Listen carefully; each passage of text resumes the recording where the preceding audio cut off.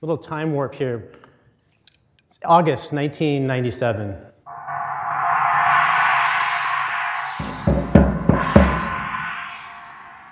I'm on tour with a band called Swell, playing drums.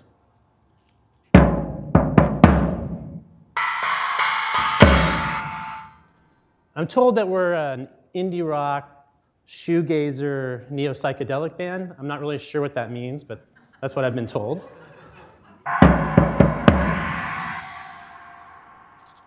I'm having a good time, it's a blast. But you know what? I'm starting to feel a little bit, a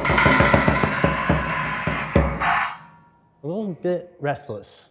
Some things were missing from my life. For one thing, I wanted to learn more about drums and rhythm and musics, not music singular, but musics plural, as a worldwide phenomenon. For another, I want to do something with my life that more expressly served others and gave back in some meaningful way. Don't get me wrong, playing drums was really fun. I enjoyed it a lot. Our fans seemed to like it, but I felt like I could do something more, something a little bit more meaningful to me anyway. And that's when I found something called ethnomusicology. Its seven syllables are really a mouthful, I know. But its central tenet is concise, to consider all musical traditions as worthy of understanding and honor. Now, it's not to say that ethnomusicologists don't consider Beethoven or Brahms to be badass. They do. It's just that ethnomusicologists also know that gamelan musicians from Indonesia are among the most amazing ensemble players anywhere. That the music of India is as complex as any, if that's what you're interested in. And that popular music, from hip hop to punk rock and beyond, has a profound power to spark real social change. And I just love that photo of the Bad Brains. Do we have any Bad Brain fans in here?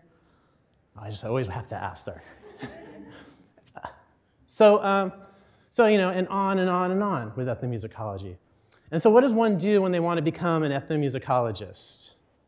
There's no big ethnomusicology corporation back east to you know, go and intern at, Smithsonian kind of. So you go to grad school, and in grad school, you attend seminars, right? You study music, you read about music, you talk about music, you write about music, you write more about music, and sometimes you even get to play some music. But in my experience, nowhere was the diversity of the musical uh, diversity more um, apparent to me and more available to me than in the archives, actually, ethnomusicology archives. See, ethnomusicology archives are warehouses full of sounds and musics from all corners of the globe. Musics you're not going to find on Spotify or Amazon. I like to think of ethnomusicology archives as outposts of sonic difference. And so it was about two decades ago after I was playing drums that I went to school, and then I started working in one of these archives at UCLA, where I was helping to preserve and promote recordings in that institution. And by doing that work, by preserving and promoting musics of people who were more often than not marginalized, colonized, silenced, and oppressed, I felt like I had found that other thing I had been missing when I was on tour that sense of giving back in some small way and serving others. So, ethnomusicology, Studying musics, check. Giving back in some way, check again. I thought I'd really found my way. But there's still five minutes left to my talk, right? So I can't, I'm not done yet. So um, as I started working in these archives, I noticed they had kind of a problematic origin story, actually. See, ethnomusicology archives, but the discipline itself, along with a lot of other social science disciplines, are byproducts of a Eurocentric colonial mindset, right? Ethnomusicologists extracted sounds, stories, images, ideas from afar, and then consolidated them, locked them up essentially in Western, you know, US and European research institutions, where they're really only accessible to a privileged few. And on top of that, who do you think was given credit for the scholarship and the commercial products that flowed from these collections? Right? There we go. And so, and so there I was, and still am actually, drawn to but troubled by ethnomusicology archives. But two steps forward, right? Instead of giving up or ignoring these and other issues, many of my colleagues and I have decided to meet our concerns head on by way of a more inclusive and ethically grounded approach to the field. And I like to call it ethnomusicology 2.0. And here are the, some of the core kind of values I associate with this approach to ethnomusicology. Collaborate, support, repatriate, and amplify. And I'll show you what I'm talking about. So collaborate. It's pretty obvious, right? Collaborate. Sometimes the obvious needs to be stated, so that's what I'm going to do. Collaborate. Instead of, you know, going out and recording music based on my own personalized research agenda, why not work with others? See what they want recorded, and then share the credit for that work. Well, at UCLA, we had funding for two community partnership grants. One was called Archiving Filipino American Music in Los Angeles, or thankfully, AFAMILA for short. And the other one was called Gospel Archiving in Los Angeles, or GALA. So over the course of two years, my teams and I, we went out and met with our community partners. We talked to them, we had conversations. We figured out what their needs were. We recorded what they wanted recorded. We archived what they wanted archived. And then when all was said and done, we gave them copies of the recordings we made and made sure that they retain rights to all the material so that if they ever wanted to release them commercially, they could do that without having to mess with the bureaucracy of University of California. So, right, collaborate, not colonize. The next idea is support. So this is another way to extract ethnomusicology from its colonial moorings. You know, instead of taking collections from countries and putting them in the US or Europe, why not support archives in those home countries so that they can better care for and preserve their own collections, right? Well, in 2002, archivists, this is an incredible story, archivists at Radio Afghanistan risked their lives to hide some 50,000 recordings from the Taliban. They built a false wall, lied about their existence. So, yeah, literally risked their lives. They've also, of course, endured an ongoing war spearheaded by the US. A few years later, Lorraine Sakata, a colleague of mine, and some of my other colleagues, we helped her get some funding to support Radio Afghanistan so that those brave archivists could get the equipment and training they needed to digitize and preserve the recordings they risked their lives to save. Around the same time, I also went to Tajikistan with Lorraine Sakata to do some training with archivists there, showing them the ins and outs of audio digitization. So, right, support, not extract.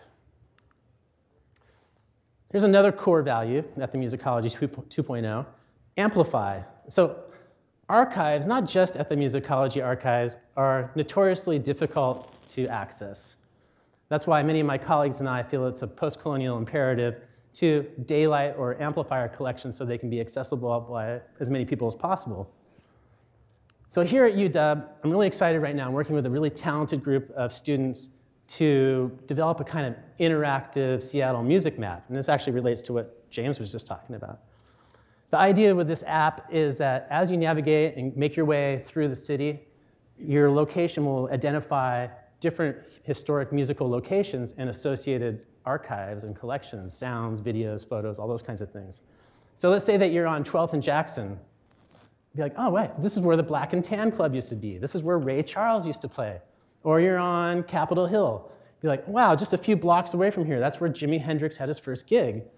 He only made it halfway through before he was fired for being, you know, too rad. and then here at UW, you go to the Hub Auditorium, you're like, Nirvana played here 30 years ago. That's crazy. And then this near riot ensued, and they were banned from the university after that. So that's the idea with that, kind of amplify our collections in that way, get them out there. And then this, um, we're also interested in working, of course, with record companies and promoting our collections online and putting them out in vinyl. And uh, another way to do it is to work with community members to ethically remix recordings, to make them kind of more appealing to a contemporary audience and uh, so, you know, by doing that kind of work, by amplifying our collections, hopefully we can also, my wish is, raise revenue that we can then give back to the musicians who are on those field recordings or their heirs. So, yeah, amplify, not silence. Repatriate is the last kind of value I want to go over.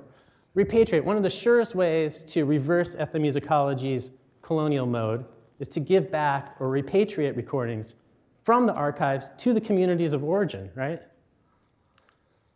So at UCLA, we had funding from the Grammy Foundation to digitize some 200 Native American field recordings. We made copies and gave them back to the Cherokee and the Zuni and other tribal nations. Here at UW, I've repatriated films, one of which documented the Hopi snake dance, that, a film that probably shouldn't have been made in the first place and we shouldn't have had a copy of.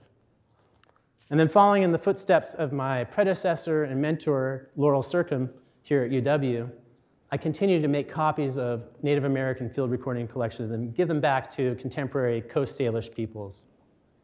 So by doing this kind of work, by repatriating materials or giving copies at least of our materials, we try to reverse damage done, but we also try to hopefully revitalize nearly extinct musical traditions and languages, such as Lushootseed here in the Pacific Northwest.